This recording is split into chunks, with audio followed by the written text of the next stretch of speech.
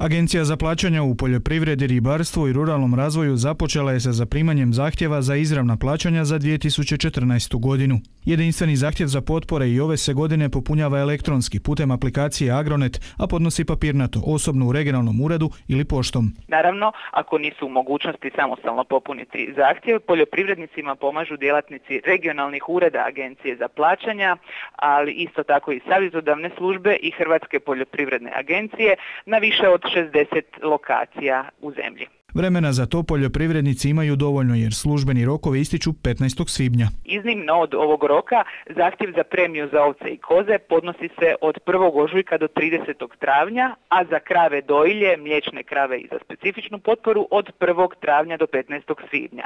Zbog toga što se individualna mliječna kvota dodjeljuje u tokom ožujka. Zato se za krave dakle traži od 1. travnja. Zahtjev je moguće podnijeti i nakon 15. svibnja i to do 9. lipnja, ali u tom slučaju korisniku se umanjuje potpora za svaki dan kašnjenja.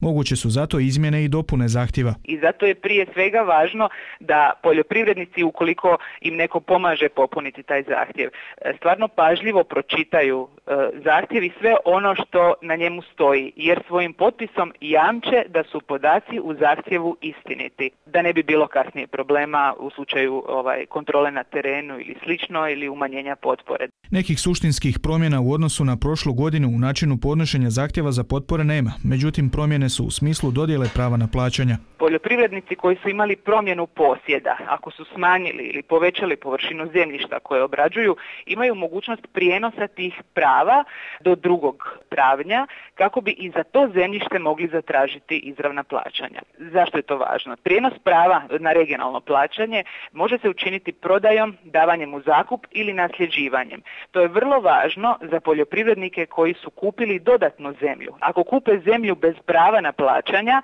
za tu zemlju neće moći ostvariti potporu.